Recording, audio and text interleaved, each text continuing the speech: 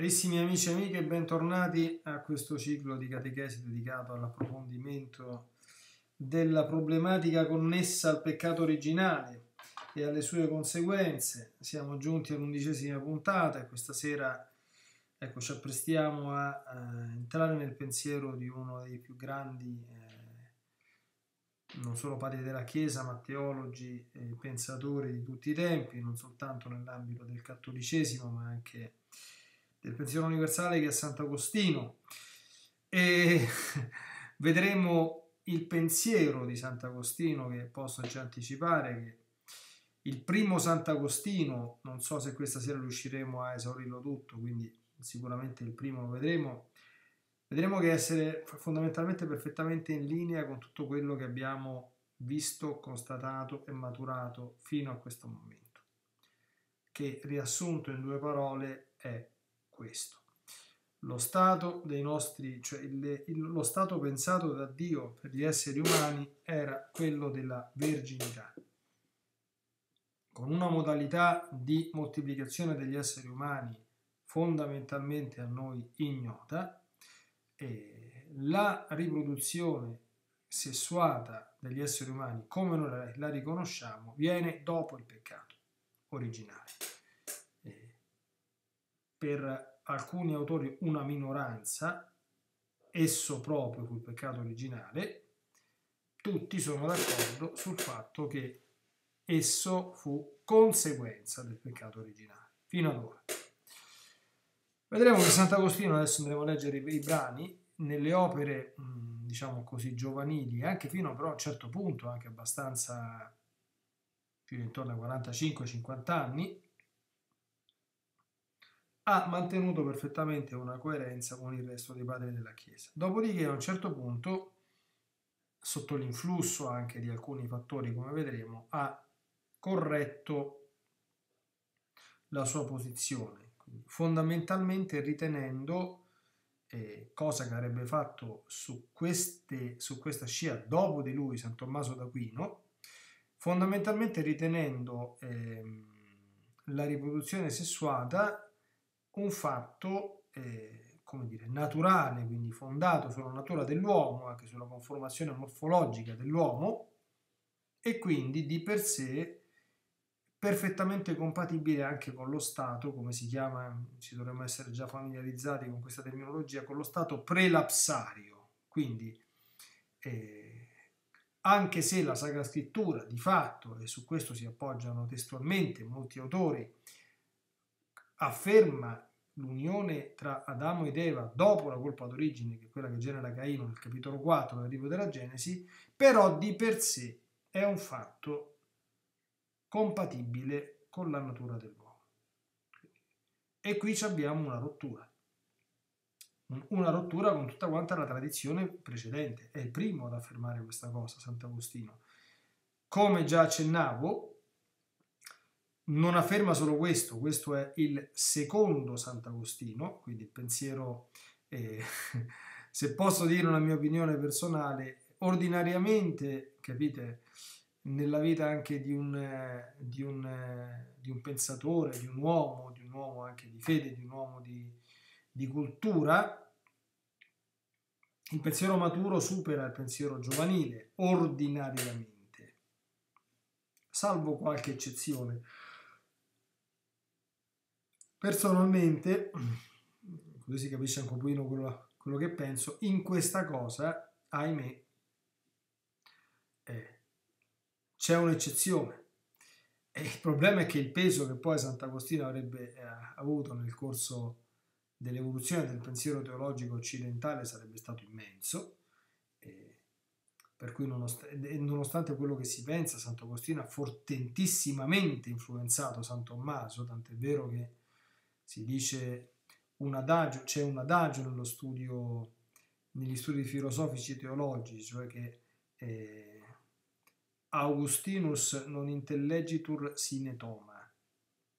Cioè, è forte questa frase, cioè Agostino non si capisce senza San Tommaso, perché è vero che San Tommaso molte volte, essendo su una linea, diciamo così, eh,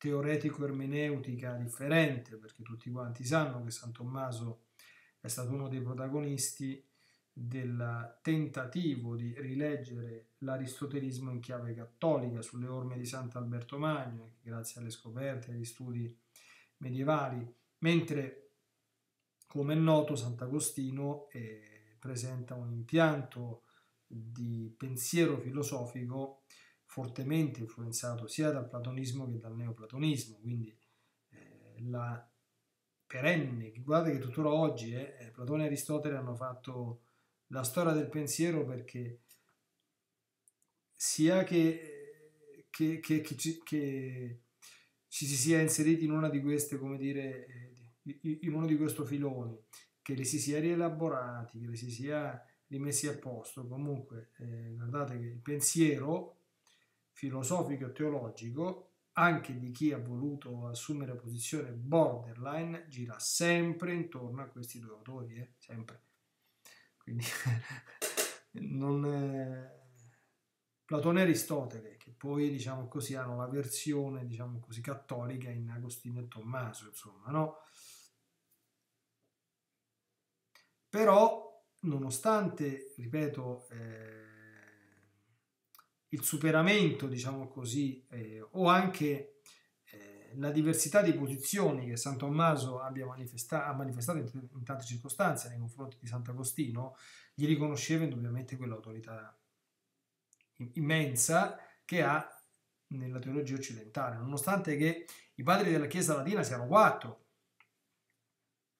perché non c'è solo Sant'Agostino, stanno pure Sant'Ambrogio e San Girolamo. Abbiamo visto il pensiero di Sant'Ambrogio e San Girolamo essere perfettamente in linea con quello che abbiamo visto fino adesso.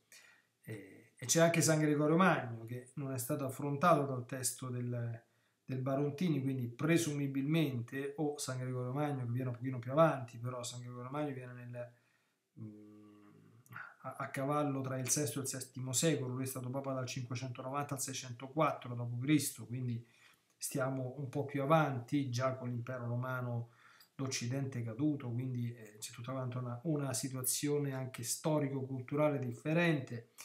Eh, San, San Gregorio Magno si è scritto da tante cose, ma si è trovato insomma con, con le calate dei barbari che arrivavano verso Roma, quindi eh, c'era un contesto storico diciamo, molto adatto alla, all'approfondimento di tematiche, diciamo così, eh, speculative, no? Eh, quindi eh, forse dipende da questo. In ogni caso, questo è il quadro, quindi andiamo subito a leggere i testi per non dilungarci eccessivamente, quindi non perdere tempo, perché Sant'Agostino insomma ha una bella, ha una bella rassegna stampa, diciamo così, da, da approfondire. Allora, Punto primo, qualche doverosa nota biografica. Sant'Agostino nacque a Tagaste, nell'attuale Algeria, nel 354. Il padre si chiamava Patrizio, non era credente, e la madre Monica era invece una fervente cristiana, canonizzata dalla Chiesa. Penso che la storia di Sant'Agostino la conoscano un po' tutti, no? Eh, Santa Monica per anni, anni, anni, anni ha pregato davanti a al Santissimo Sacramento, alla messa tutti i giorni, che il figlio si convertisse e poi il Signore l'ha esaudito al di là di ogni aspettativa, dopo 30 anni di preghiera. Quindi si è convertito, si è fatto prete, poi si è fatto monaco, poi è diventato vescovo e poi è diventato un grande vescovo anche, insomma, è dottore della Chiesa. Quindi, eh, quindi eh, Sant'Agostino, giovane, spirito molto molto vivo, intelligenza molto lucida e uomo molto colto, eh, aderì durante l'età giovanile al manicheismo, pericolosissima eresia, e ci rimase insomma coinvolto per circa una decina d'anni. Insegnò grammatica a Tagaste e poi retorica a Cartagine, uomo di straordinaria cultura. Si trasferì poi a Roma e poi ancora a Milano. Quando era ancora giovane, molto giovane, si legò ad una donna, senza sposarla, che gli diede un figlio, Adeodato, che morì a 19 anni. La permanenza a Milano per Sant'Agostino fu colpo di grazia perché come molti sanno Sant'Agostino si convertì e poi chiese il battesimo, fu battezzato da Sant'Ambrogio, vescovo di Milano, no? E... La notte di Pasqua dell'anno 387, quindi quando Sant'Agostino aveva significativamente, peraltro, 33 anni, battezzato a 33 anni da Sant'Ambrogio. E quindi San Tommaso, Tommaso, Sant'Agostino scusate, decise di, di, di, tornare in Africa, ma nel frattempo era venuta in Italia la mamma, che lo raggiunse ad Ostia, ed Ostia morì e, prima che si imbarcassero. Torna in Africa, si stabilisce prima a Tagaste, poi si reca a Lippona, dove fu ordinato dapprima sacerdote e poi vescovo e rimase vescovo per ben 34 anni fino alla data della morte che è il 430. Fu un campione per la difesa della fede ortodossa contro le eresie soprattutto dei pelagiani e dei donatisti. A Sant'Agostino la Chiesa deve un tributo insomma unico perché appunto il concilio di Orange e, e i concili che hanno condannato questi, queste due frange eretiche, eh, pelagiani ed, e donatisti, so, sono stati la ratifica fondamentalmente del pensiero di Sant'Agostino, eh, pensiero che la Chiesa Cattolica ha fatto suo, soprattutto per quello che riguarda la grazia. Quindi come funziona la grazia di Dio, come si riceve la grazia di Dio, come operano i sacramenti, cioè che, che i sacramenti operano ex opere operato, eh, la Chiesa la, lo, lo, lo, ha eh, diciamo, cominciato a mettere nero su bianco a seguito della polemica di Sant'Agostino contro i donatisti, i quali appunto sostenevano che se c'è un ministro indegno a celebrare un sacramento, quel sacramento non è più valido. No? Ecco. Attenzione sempre alle stupidaggini circolanti sulla validità dei sacramenti. Un sacramento è sempre valido purché ci sia un ministro validamente ordinato nella Chiesa Cattolica nel grado secondo dell'ordine sacro, cioè il sacerdozio ministeriale, eh, che celebra sempre in maniera valida purché abbia l'intenzione di fare ciò che fa la Chiesa. Vero che in tante circostanze può celebrare in maniera illecita. Se un ministro sta in peccato mortale, se un ministro è sospeso a divinis, se un ministro è scomunicato, se un ministro ha lasciato il ministero perché si è sposato, sia stato dimesso dallo stato clericale e cose di questo genere, quando celebra pecca mortalmente o se il ministro non sta in comunione col suo vescovo o se il ministro non sta in comunione col romano pontefice. Sono tutti casi di celebrazione illecita della, per esempio, Santa Messa, ma illecita è cosa diversa da invalida. Ok? La messa è invalida soltanto se il sacerdote non usa il pane azimo e il vino, cambia la formula della consacrazione a capoccia sua, quindi non, non, non dice quello che deve dire e con l'intenzione di fare ciò che fa la Chiesa, stop. Tutta questa roba qui io ho fatto una, è frutto della polemica di Sant'Agostino contro i donatisti. Quindi i meriti, diciamo così, di quest'uomo nei confronti anche di, di, di ciò che la Chiesa è sono assolutamente indiscutibili. Andiamo a vedere su quello che ci riguarda cosa ha scritto, cominciando dal De Genesi contra Manicheos, perché le prime opere di Sant'Agostino sono state ovviamente contro i Manichei che per tanti anni l'avevano ingannato e quindi ne, ne, ha confutato gli errori attraverso gli scritti. No? E Oh, fu scritta quest'opera eh, subito dopo la conversione, tra il 388 e il 389, quindi ehm, e per confutare fondamentalmente le critiche dei Manichei contro l'Antico Testamento e contro i primi capitoli del libro della Genesi, contro la quale si diffondevano nel popolo cristiano obiezioni e domande maliziose che giungevano a turbare la fede dei più semplici. Primo passo dell'opera, qui veramente eh, ascoltando, eh, dice, ah, Niente di nuovo, tutto in linea con ciò che abbiamo sentito. Lo sentiremo noi stessi. Siamo nella Genesi contra Manicheos, questo è un testo facilmente reperibile, edito da Città Nuova nella collana patristica, e riferimento al 19,30. Quanto a quest'altra frase della scrittura, li creò maschio e femmina, e Dio li benedisse dicendo crescete, moltiplicatevi, procreate e riempite la terra, si pone del tutto giustamente la questione in qual senso debba intendersi l'unione del maschio e della femmina prima del peccato e prima di questa benedizione con cui Dio disse crescete, moltiplicatevi, procreate e riempite, la terra. Ascoltiamo bene, è da intendersi in senso carnale o in senso spirituale? Senza dubbio c'è lecito intenderla anche in senso spirituale, in modo da ritenere che dopo il peccato fu molto verosimilmente trasformata in fecondità carnale. Vedete? Dopo il peccato. In precedenza, infatti, l'unione del maschio e della femmina era casta,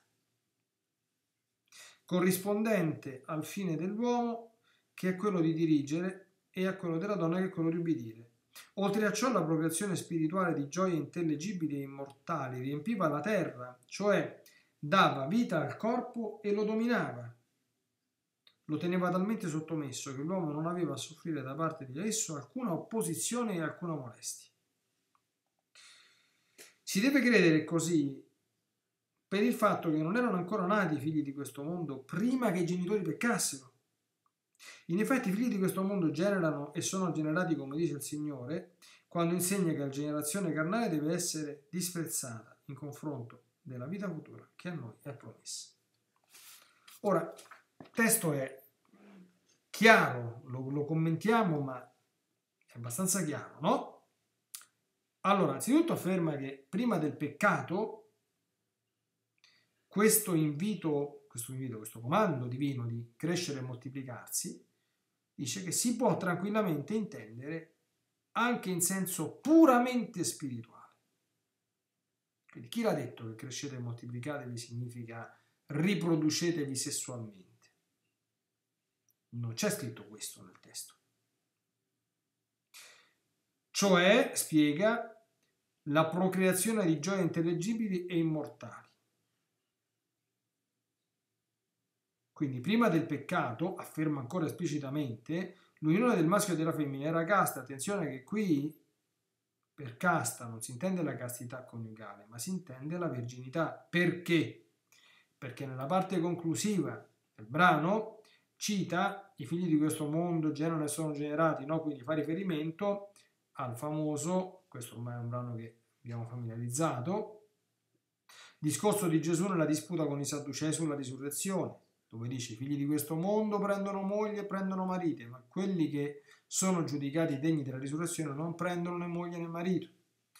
Quindi eh, il principio che abbiamo già visto è dal momento che la condizione glorificata, quindi quando non avremo più niente a che fare con il peccato, quindi paradisiaca, non prevede l'unione sessuale, Certamente tale unione non era prevista nella condizione del paradiso terrestre, cioè non c'era nel paradiso celeste, non c'era nel paradiso terrestre. La spia di questo è che si parla di riproduzione sessuata dopo il peccato originale. Questo Sant'Agostino lo riconosce. Scrive chiaramente, dopo il peccato fu molto verosimilmente trasformata in fecondità carnale, non prima. Si deve credere così, afferma esplicitamente, per il fatto che non erano ancora nati i figli di questo mondo, i figli di questo mondo, prima che i progenitori peccassero. Ora, questo è un dato eh, biblico oggettivo, non confutabile.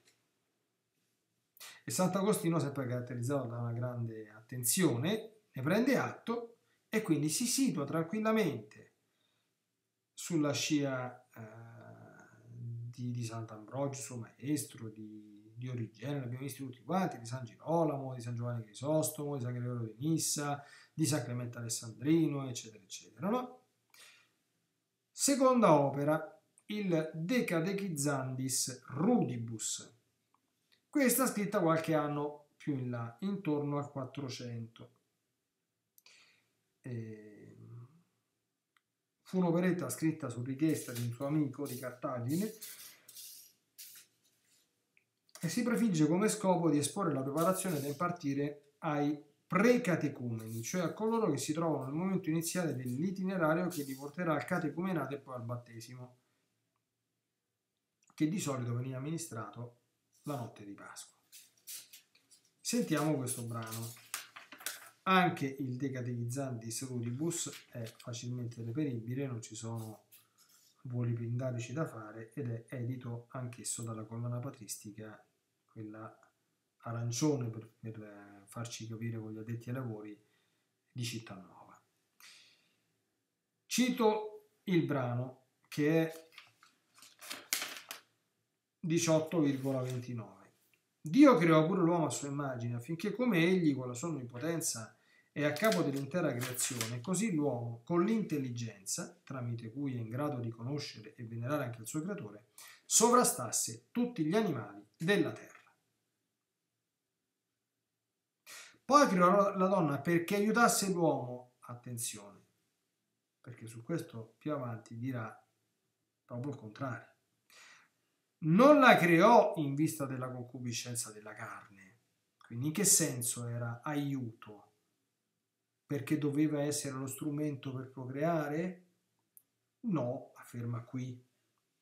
Non la creò in vista della concupiscenza della carne, dal momento che essi a quel tempo, prima che la mortalità, castigo derivante dal peccato, si impossessasse di loro, non avevano corpi corruttibili, non avevano corpi corruttibili, quindi la riproduzione sessuale ha a che fare con la corruttibilità e con la corruzione, la riproduzione sessuata, scusate.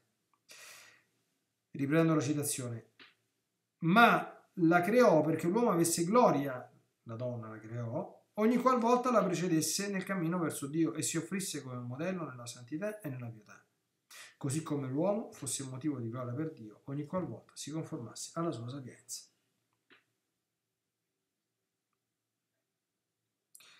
Quindi, nonostante che siano passati 12 anni, Sant'Agostino continua ad affermare che prima della trasgressione l'unione fra i progenitori era solo spirituale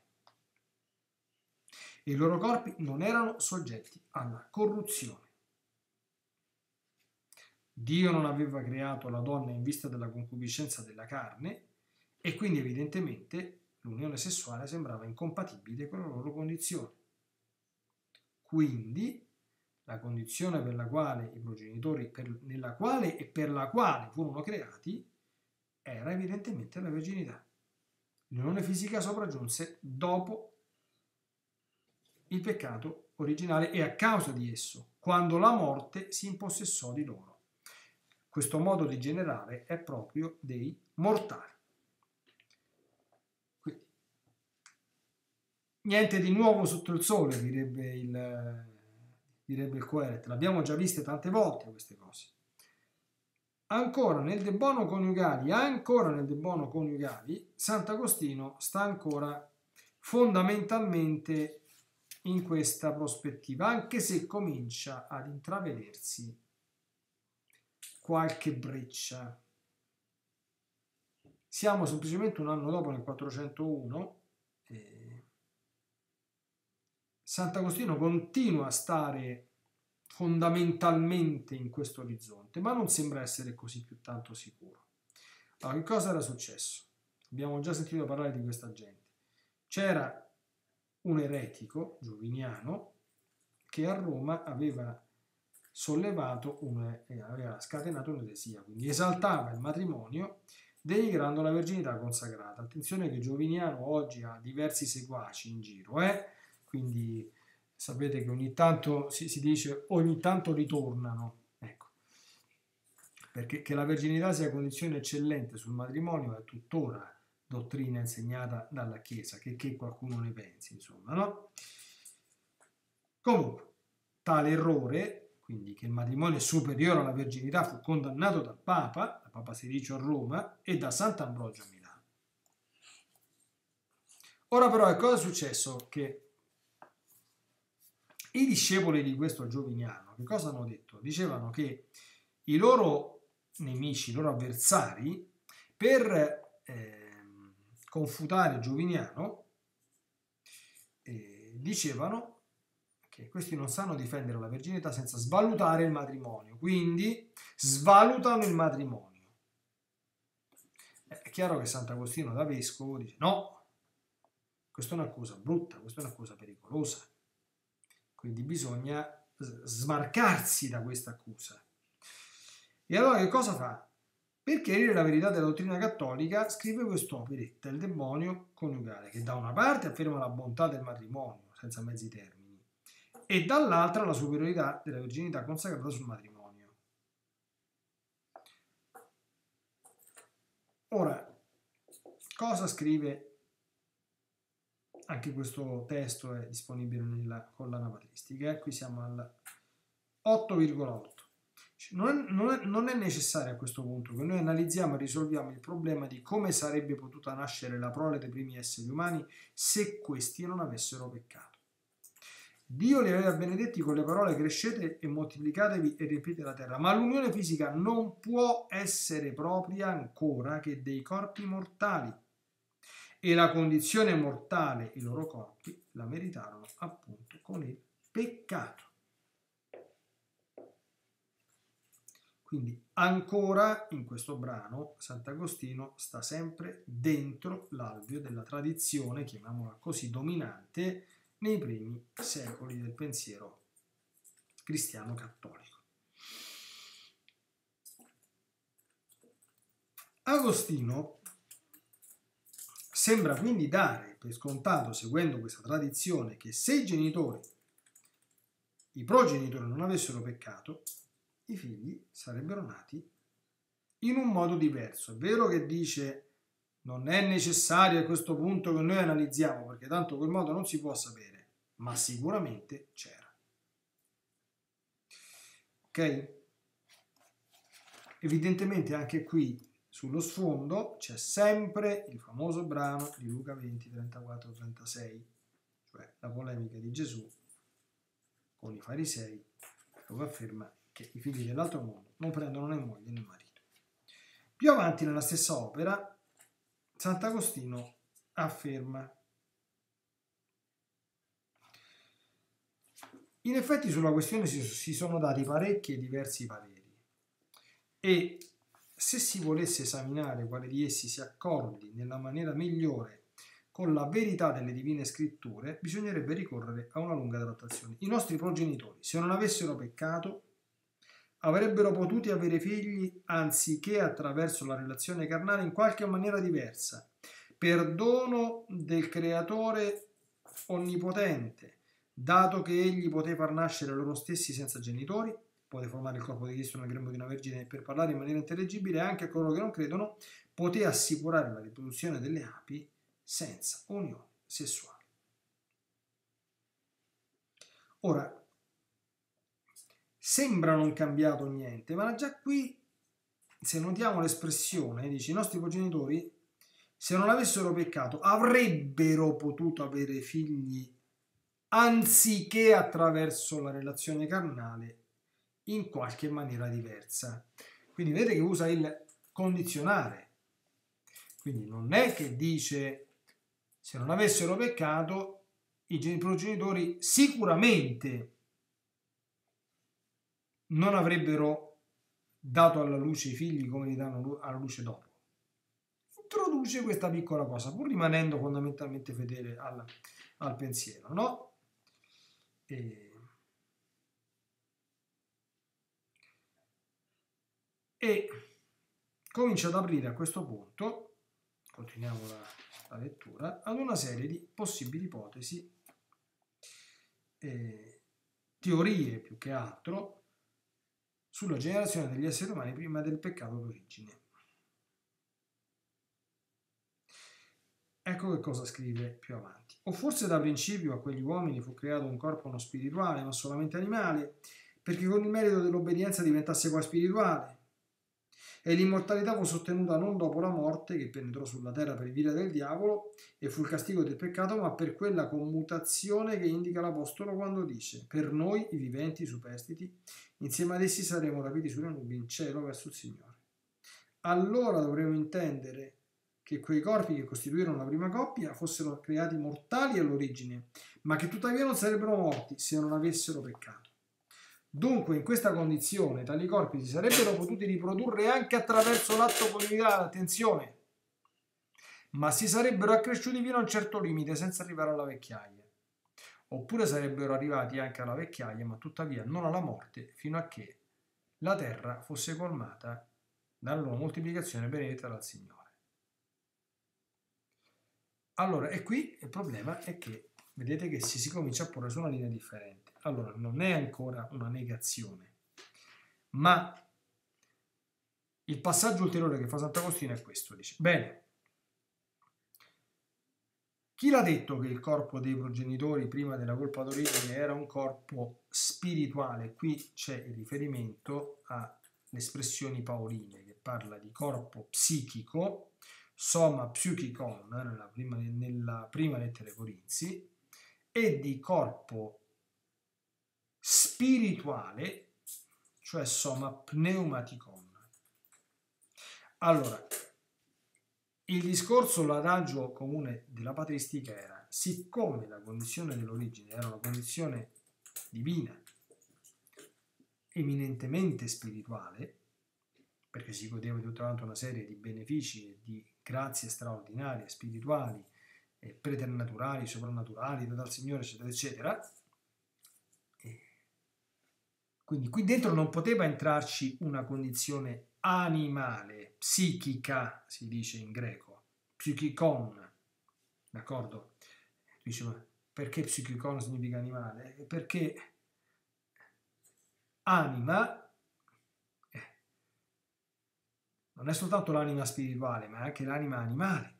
Gli animali si chiamano animali, cioè anima, e poi ci aggiungi le o lì, se, sia plurale, no? Quindi, però lui dice una cosa, dice, ma forse questi corpi erano stati creati mortali, ma non sarebbero morti se non avessero peccato. Però, quindi se sono stati creati mortali, vuol dire che la condizione protologica non è tutta spirituale ma è già animale, con la differenza che se fossi rimasto fedele ti saresti in qualche modo nobilitato. Infatti conclude dicendo, dunque in questa condizione tali corpi si sarebbero potuti riproporre anche attraverso l'atto coniugale, riprodurre scusate, anche attraverso l'atto coniugale, ma si sarebbero accresciuti fino ad un certo limite senza arrivare alla vecchiaia. Oppure sarebbero anche arrivati alla vecchiaia, ma tuttavia non alla morte, fino a che la terra fosse colmata dalla moltiplicazione del Signore. Ecco il passaggio. Da questa breccia Sant'Agostino avrebbe poi scritto tutto quello che scrive più avanti che vedremo. Però qui la linea è diversa da quella degli autori precedenti. Sappiamo bene che per essi l'unione carnale è stata una concessione di Dio agli uomini per avere dei discendenti che continuassero il genere umano subentrando a coloro che muoiono, ma dopo il peccato originale. Oh, e veniamo adesso al De Genesi ad Litteram, che è l'opera dove eh, questo travaglio, diciamo così, interiore eh, giunge a compimento e si può dire che Sant'Agostino cominci a realmente cambiare idea rispetto alla sua mm, convinzione degli scritti più giovanili. Come nota l'autore, quest'opera è stata scritta in circa 15 anni, quindi dal 401 circa, al 415. E attenzione, nei primi libri dell'opera, Sant'Agostino, quindi quelli scritti nel 400-401, è chiaro che sta in linea con quello che scriveva nelle altre a loro vicino, ma più avanti, dal momento che quest'opera ha richiesto lunghi anni, se ne dissocia. Allora, Il primo passo dell'opera, eh, che appunto dice questo. In realtà, benché sembri che l'ordine crescete e moltiplicate vi riempite la terra supponga che ciò non potesse avvenire senza l'amplesso coniugale del maschio e della femmina, cosa che sarebbe un altro indizio che i corpi erano mortali, si potrebbe tuttavia affermare che ci potesse essere un altro modo di unione nei corpi mortali. In tal caso i figli sarebbero nati da un fervido sentimento di amore e di benevolenza, privo di qualsiasi sensualità del corpo corruttibile, ed i genitori senza morire avrebbero avuto come successori figli non destinati neppure essi a morire, fino a quando la terra non sarebbe stata ripiena di uomini immortali. In tal modo, dopo essersi formato un popolo giusto e santo, come quello che speriamo dopo la risurrezione, sarebbe stato messo anche un termine alle nascite. Una simile ipotesi potrebbe essere avanzata, ma in qual modo possa essere sostenuta è un'altra faccenda. Quindi, ancora all'inizio delle Genesi, del, del, eh, De Genesi ad litteram, Sant'Agostino è ancora dentro è ancora dentro. Potevano nascere in un altro modo? Sì, non con un amore coinvolgente l'amplesso carnale, che è proprio dello stato di corruzione, ma con un amore di benevolenza, privo di qualsiasi sensualità, tipica del corpo corruttibile. E quindi i genitori immortali danno alla luce figli anch'essi immortali, fino a quando la terra non sarebbe stata riempita come, come, come il Signore voleva. E poi quello che sarebbe successo chi lo sa, insomma, no? Ecco. Dice, questa ipotesi potrebbe essere avanzata. In quale modo possa essere sostenuta è un'altra faccenda. Ok? Ora, nel libro nono, però, scritto diversi anni dopo, Sant'Agostino cambia opinione. E andiamo anche qui a leggere. Orbene, se ci chiediamo per quale motivo era necessario quell'aiuto, la donna, l'ho accennato prima, no? ecco un aiuto simile a te. Dice, no, l'aiuto non era le opere giovanili per la procreazione. Ora sentiamo. Per quale motivo era necessario quell'aiuto? Con ragione ci si presenta alla mente solo quello della procreazione dei figli. Dice il contrario così come la terra è d'aiuto al seme per la produzione della pianta dall'unione dell'uno e dell'altro. Questa ragione della creazione e dell'unione del maschio e della femmina, come pure la benedizione, non fu abrogata neppure dopo il peccato dell'uomo e dopo il suo castigo. Quindi dice, attenzione, questa cosa c'era prima e non è manco stato abrogato il peccato originale, anzi, in realtà, sebbene la scrittura ricordi che i nostri progenitori ebbero rapporti sessuali e generarono figli solo dopo essere stati cacciati dal paradiso, io tuttavia non vedo che cosa avrebbe dovuto impedire che per loro ci fosse una onorata unione matrimoniale e il talamo intemerato anche nel paradiso. Dio infatti se fossero vissuti nella fedeltà e nella giustizia e lo avessero servito nell'obbedienza e nella santità, avrebbe concesso loro di generare figli con il loro seme senza l'ardore disordinato della concupiscenza, senza la fatica e il dolore del patto. Quindi attenzione, c'è uno step ulteriore.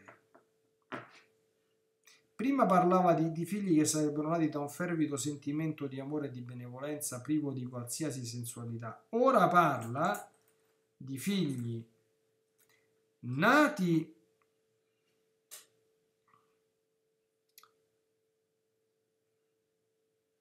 con il seme, con il loro seme, tuttavia ancora senza l'ardore disordinato della concupiscenza. Quindi immagina praticamente una unione carnale senza concupiscenza.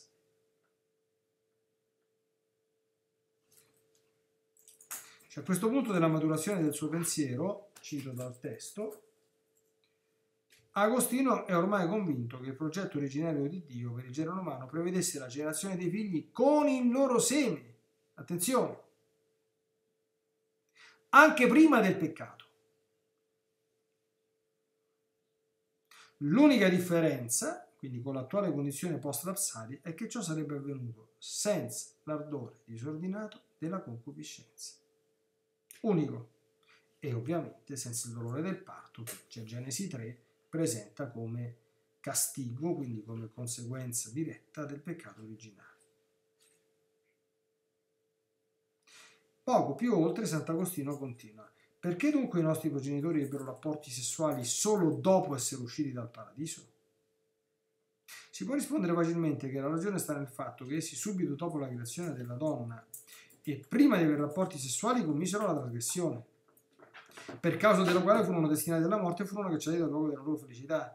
Uno potrebbe anche dire che Dio non aveva ancora dato loro l'autorizzazione ad unirsi nell'amplesso coniugale. Questa è posizione che abbiamo già trovata nei primissimi capitoli. Ricordiamo, no? Era la posizione di Clemente Alessandrino, che dice che fecero le cose prima del tempo.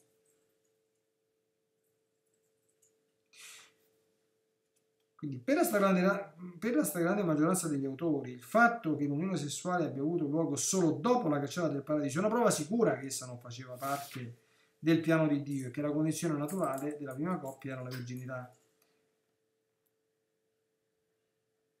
Agostino invece ipotizza che è solo mancato il tempo, cioè secondo Agostino, cosa per esempio questa smentita anche se i piani sono differenti da le rivelazioni fatte a Gesù alla serva di Dio Luisa Piccarreta. Cioè, dice Sant'Agostino, appena creata la donna, ha fatto subito il peccato originale, immediatamente. E quindi non c'è stato tempo, dice, dice, dice cominciano a creare, ecco, dice, la scrittura dice che si uniscono sessualmente dopo il peccato, ma se l'hanno fatto subito, ce l'ha fatto poco tempo a crearla, hanno già fatto il peccato originale, e quindi è chiaro che si uniscono dopo il peccato originale, ma questo non prova che non si sarebbero uniti in questo modo prima del peccato originale. Ora, eh, le rivelazioni, per chi conosce un po' la divina volontà di Gesù, la serva di Dio Luisa Piccarreta, questa cosa la contraddicono. Perché Adamo è stato di moltissimi anni, diversi anni, non parla certamente di, di, di una cosa che è avvenuta immediatamente, ha fatto tanti atti nella divina volontà prima della colpa d'origine. Quindi questo argomento non si può utilizzare se è vero quello che Gesù ha detto alla serva di Dio Luisa Piccarreta, attenzione, eh? Quindi Agostino ipotizza che è mancato il tempo. Oppure, dice, l'hanno fatto prima del tempo. E qui si ricollega, lo ricorderemo, l'ho già evidenziato, alla concessione di Clemente Alessandrino. L'hanno fatto prima del tempo quando ancora non avevano avuto il permesso da Dio.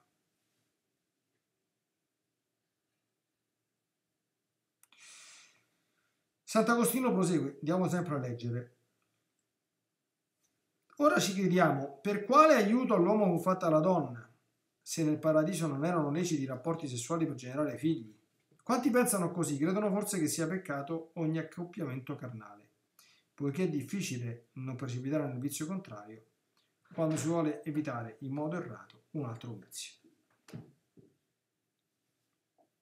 Quindi Agostino procede, quindi non soltanto dice no, l'aiuto è l'aiuto per la procreazione, ma va ancora oltre, dice, e per cos'altro l'avrebbe creato questo aiuto, se non era per questo. Quindi capite che c'è un, un, un, progre, un progresso. Quindi, egli sembra addirittura essersi dimenticato di quanto aveva scritto nel terzo libro, quando aveva avanzato l'ipotesi che senza il peccato nel paradiso i figli sarebbero nati da un fervido sentimento d'amore e di benevolenza, vivo di qualsiasi sensualità del corpo corruttibile, e senza l'amplesso coniugale del maschio e della femmina. Agostino invece più avanti, sempre in questo contesto, dice perché dunque non dovremmo credere che i nostri progenitori prima del peccato potessero comandare agli organi genitali per procreare figli come comandavano le altre membra, che l'anima è solita eccitare senza alcun prurito della concupiscenza per compiere qualsiasi altro atto? Perché allora dovrebbe sembrare Incredibile che per i primi uomini Dio formasse corpi di tal natura che se non avessero peccato e contratto subito quella sorta di malattia che li avrebbe condotti alla morte, avrebbero comandato agli organi di cui è generata la parola allo stesso modo che si comanda ai piedi quando si cammina? In tal modo avrebbero compiuto l'unione sessuale senza ardore passionale e avrebbero partorito senza dolore. Quindi, qui il discorso che fa Sant'Agostino è questo qui. Nello stato di natura integra c'è un dominio perfetto delle membra, comprese quelle membra. Noi sappiamo bene che gli stati legati, perdonatemi il linguaggio esplicito, però eh, se no non ci capiamo, all'eccitazione sessuale non sono volontari, uno non può autoindurseli, deve essere in qualche modo provocato, deve essere sollecitato, d'accordo?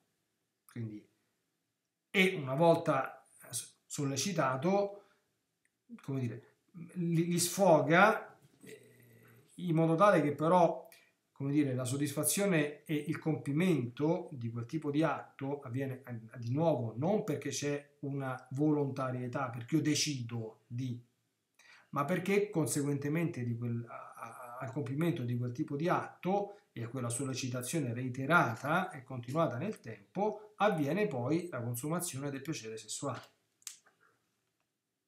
E dice no, no, non era così l'atto sarebbe stato esente dal prurito della concupiscenza. Di conseguenza, gli organi genitali non si sarebbero mossi dietro lo stimolo delle passioni, indipendentemente dalla volontà dell'uomo, ma sarebbero stati obbedienti al suo comando. Invece, a causa del peccato, l'uomo e la donna hanno meritato di sentire nelle loro membra il modo della legge che è in guerra contro la legge dello spirito. Questa è l'evoluzione. L'ultima opera di Sant'Agostino è il De et Concupiscentia. Stavolta siamo nel 418 e stavolta Sant'Agostino ce l'ha eh, con un pelagiano, Giuliano di Eleano. Eh, sappiamo che i pelagiani negavano l'esistenza della concupiscenza. Dicevano che il peccato originale commesso da Adamo non è un qualche cosa che ha degradato al genere umano e ha comportato un suo peggioramento lasciandoci in eredità appunto quella cosa che la Chiesa chiama fomito concupiscenza, quindi quella tendenza dentro di noi che sentiamo verso il basso e che si manifesta in maniera particolare negli ardori della libido. Loro dicevano no, non c'è niente di tutto questo qui. E Sant'Agostino scrive quest'opera per evidentemente confutarlo e quindi cercherà di distinguere la bontà del matrimonio e la concupiscenza, eh, che sono due cose distinte, in modo da dimostrare che la concupiscenza, la seconda, è soltanto il mezzo attraverso il quale si propaga il peccato originale nella generazione. Vediamo questi scritti.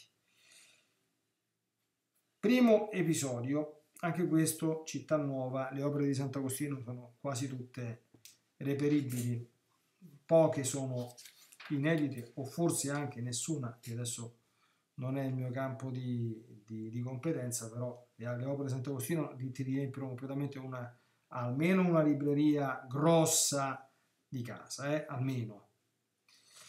Allora, non avvertono che non si può accusare la bontà del matrimonio per il male originale che adesso si contrae, allo stesso modo che non si può scusare la malizia dell'adulterio e della fornicazione per il bene naturale che ne deriva.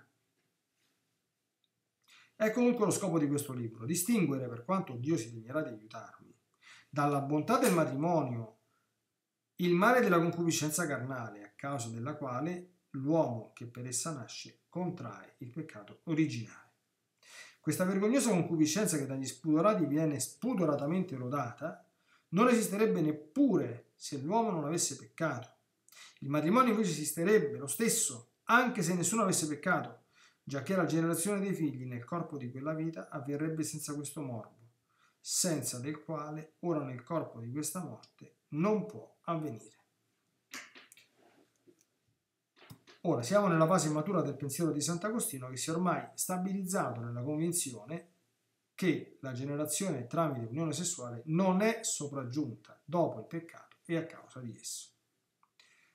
Ciò che è sopraggiunto dopo il peccato, questo lo ribadisce, è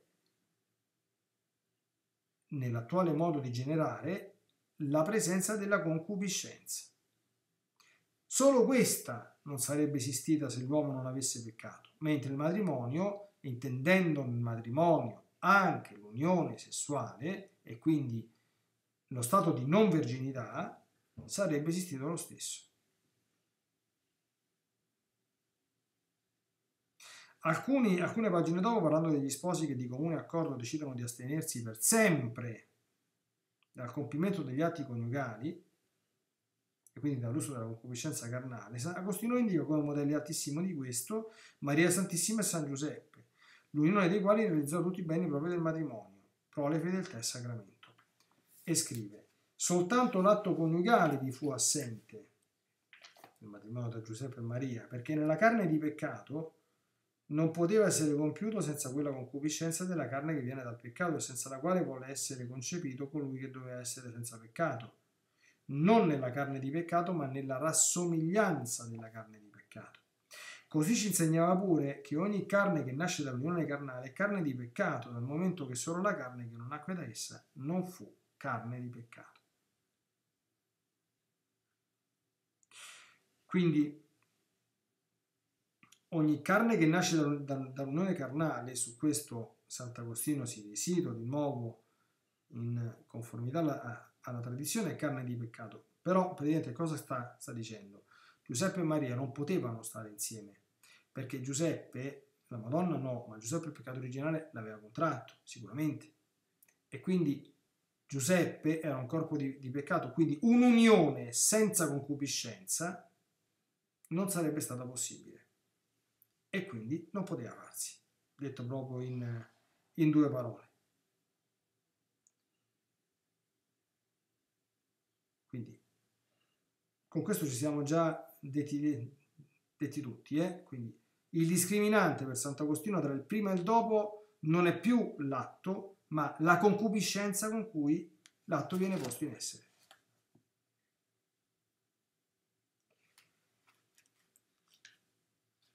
Ancora, altro testo. Se invece interrogassimo la concupiscenza della carne, causa della quale divennero vergognosi quegli organi che prima non lo erano, certamente essa dovrebbe rispondere di aver incominciato ad esistere nelle membra dell'uomo dopo il peccato e di essere chiamata, secondo l'espressione dell'Apostolo, legge del peccato, per il fatto di aver asservito a sé l'uomo, perché costui non vuole assoggettarsi al proprio Dio. Direbbe ancora di essere proprio lei, quella di cui arrossirono i primi sposi quando coprirono le parti vergognose e di cui arrossiscono ancora oggi tutti gli sposi quando cercano luoghi appartati per compiere l'atto sessuale e non osano avere a testimone di relazione neppure figli, che hanno così generato.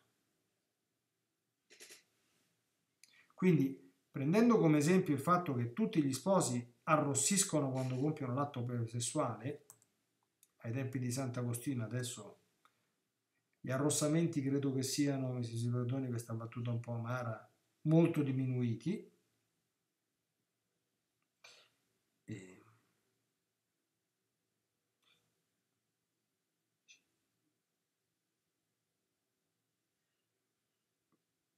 Mettendo a confronto questa affermazione con Sant'Ambrogio, ricorderemo nell'esortazione alla, alla verginità che Sant'Ambrogio diceva che prima del peccato i coniugi non avevano di che arrossire, ma per Sant'Ambrogio questo era dovuto al fatto che vivevano nello stato di verginità.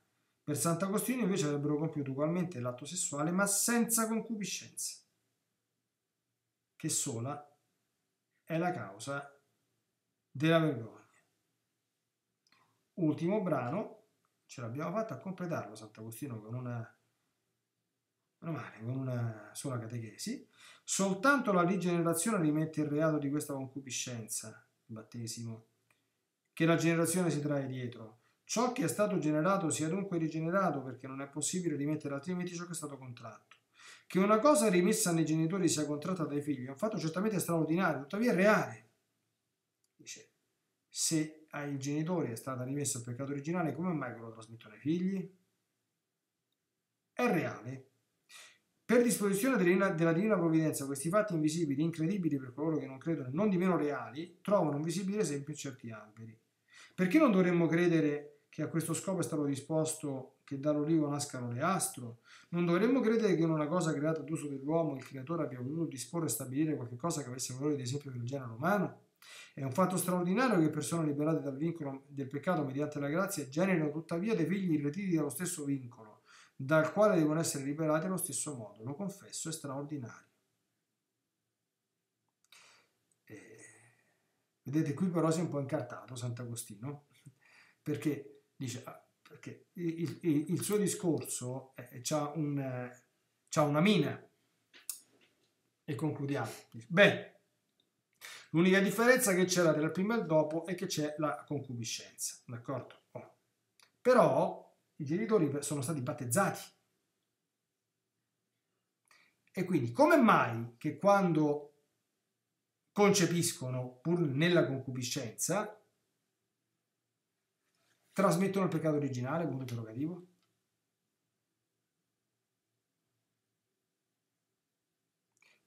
Soltanto la rigenerazione rimette il reato di questa concupiscenza.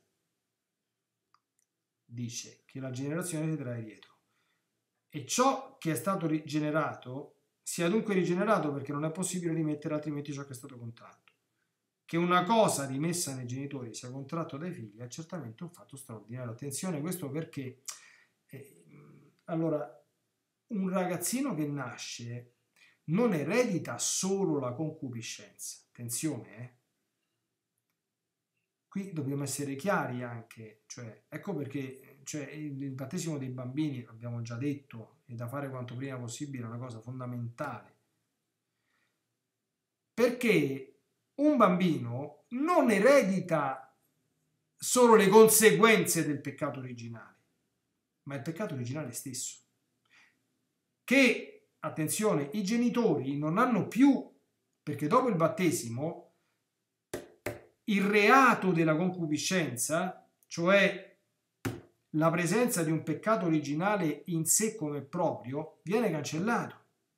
Quindi tu trasmetti un peccato che tu non c'hai più, perché quello che è rimasto ai genitori è solo l'effetto e la conseguenza della macchia d'origine.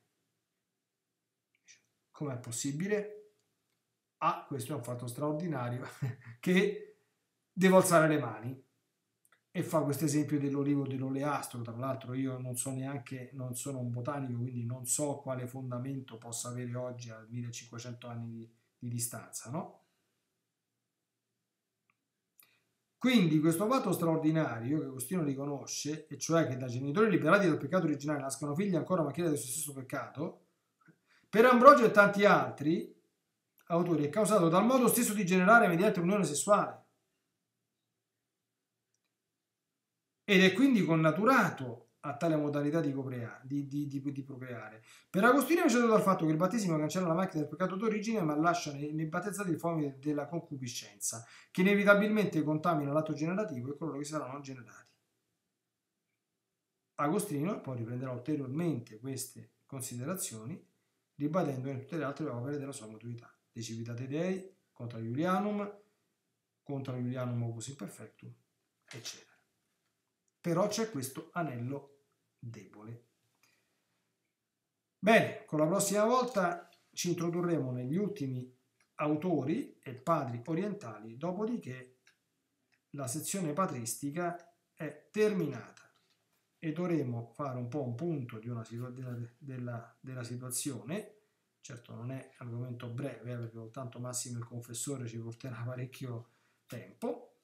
E poi una lunga disamina biblica e poi andremo a vedere l'ultima parte, quello che alcuni mistici hanno detto al riguardo e poi alla fine concluderò al termine di questa lunga carrellata che ci porterà via ancora diverse puntate dicendo umilmente quello che penso.